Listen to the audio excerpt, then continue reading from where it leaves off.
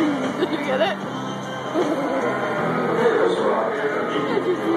Little dirty though. Junior ewe lambs, and these are ones that were born late January or mid-February.